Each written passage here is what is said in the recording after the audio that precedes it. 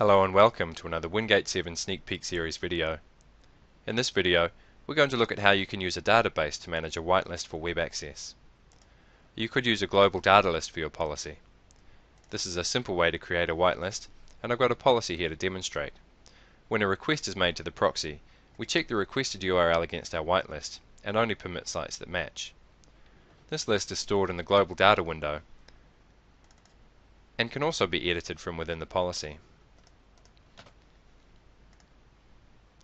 This is fine if you only need a handful of sites on your whitelist, but maintaining a list with several hundred sites becomes unwieldy and hard to manage.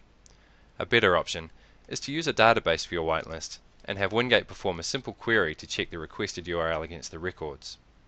With the Wingate 7 policy framework, you can run SQL statements from within a policy and incorporate the results into your policy.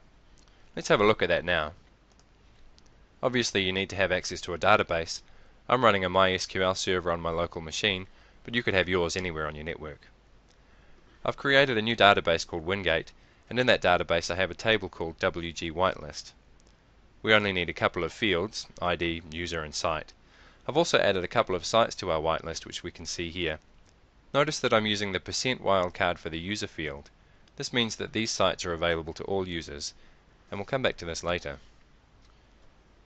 Next we have to add a new system DSN for the database, so open the ODBC administrator.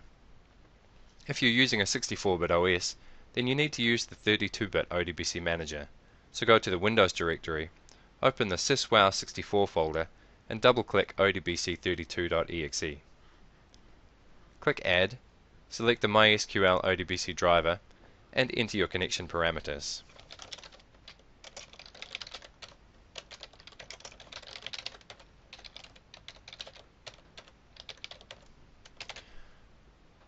Choose our Wingate database, and we're all set. Now we need to create the policy in Wingate. Click to create a new policy and choose any HTTP proxy.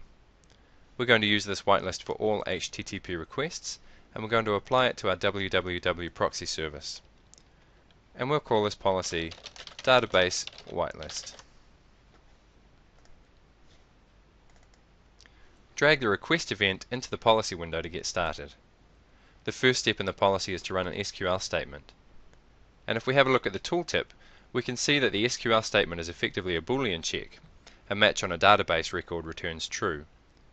If we run the SQL query on our whitelist and there is a matching record in the database, the request will be granted.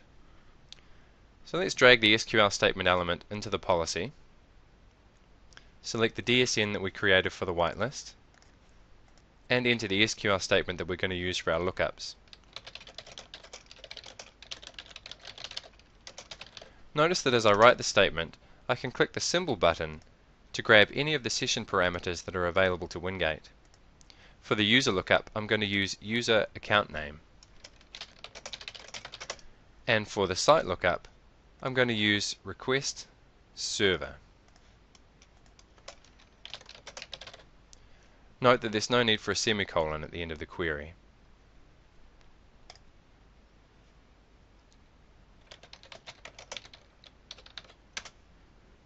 Now we need to define what happens when we get a result from our query.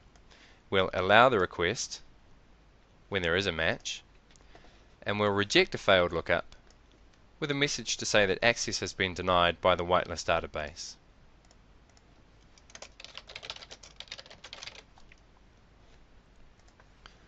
Now we need to hook up the policy elements, save the policy, and we're all done. Let's check it now. Our user Bob will try to access a permitted site first. Let's go to wingate.com.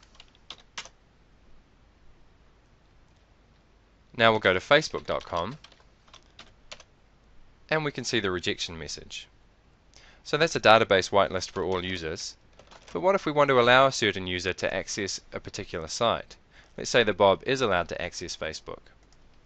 Firstly, we'll to, need to add a new record to the database for Bob and for Facebook.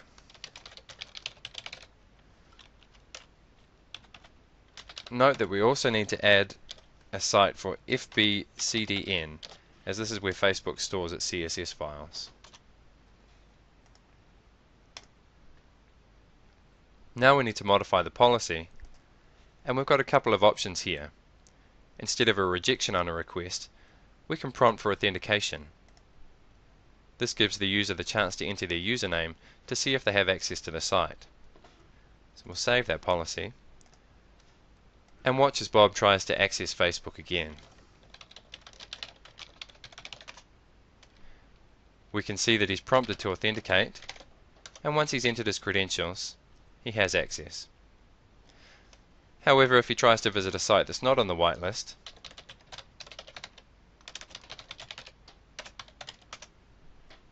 he'll be prompted to authenticate again.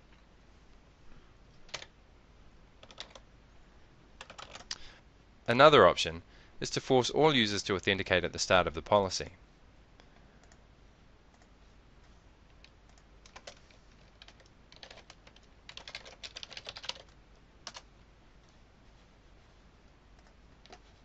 So we'll unhook the request event and drag on a user group check.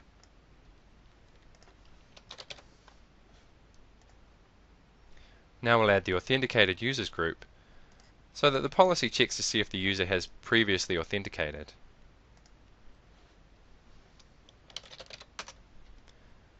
If not, we'll prompt for authentication.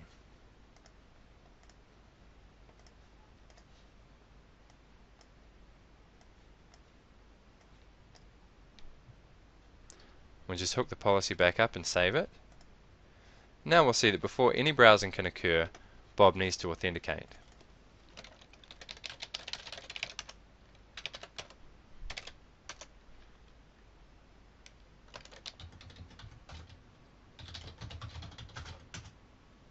So using a database allows you to manage a much larger whitelist and gives you greater flexibility and control over your users' access.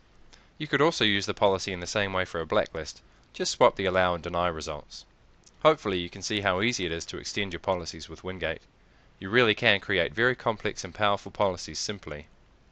For more information go to wingate7.com. Thanks for watching.